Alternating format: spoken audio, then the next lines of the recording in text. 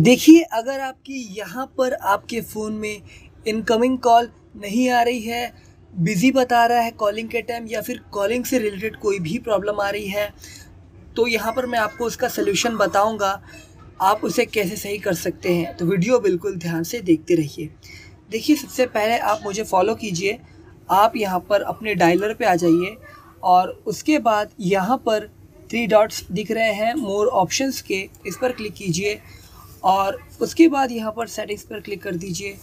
अब आपको देखिए, नीचे स्क्रॉल करना है और आपके फ़ोन में हो सकता है मोर सेटिंग हो, लेकिन यहाँ पर सप्लीमेंट्री सर्विसेज़ है। तो मोर सेटिंग सर इसमें सप्लीमेंट्री सर्विसेज़ पे क्लिक करता हूँ मैं और बेसिकली आपको कॉल बैरिंग ढूंढ लेना है।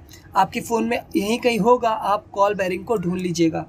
फिर उसके बाद आपको वॉइस कॉल्स में आना है। अब देखिए, ये थोड़ी देर आपका ये लोडिंग लेता है और इसके बाद ये लोडिंग लेने के बाद आपको ध्यान रखना है, आपका यहाँ पर ये इनकमिंग कॉल्स का ऑफ़ होना चाहिए, ये ऑन नहीं होना चाहिए। बेसिकली यहाँ पे कुछ भी नहीं ऑफ़ होना चाहिए ऑन होना चाहिए। सब इस आपको बंद रखना है, लेकिन हाँ मेन आपका इनकमिंग कॉल्स है, ये ऑफ़ रहना चाहिए। इसको आप ऑफ़ रखिए। अगर आपका ये ऑन होगा तो आपको कॉल नहीं लगेगी, ठीक है? अगर आपका ये ऑन है, फिर भी ऑफ़ है, फिर भी कॉल नहीं इनकमिंग कॉल्स नहीं आ रही है तो यहाँ पर दूसरी, दूसरा मेथड आपको बताता हूँ तो आप उसको फॉलो कीजिए, ठीक है? आप यहाँ पर फ़ोन की सेटिंग्स में चले जाइए और यहाँ पर सर्च पे आपको आ जाना है। रीसेट यहाँ सर्च कर लेना है। यहाँ पर कोई भी आपका डेटा डिलीट नहीं करवाने वाला हूँ। बस आपको यहाँ पर रीसेट सर्च करना है और प्रोसेस देखना है। ये रहा रीसेट ऑल सेटिंग्स इस पर क्लिक करना है।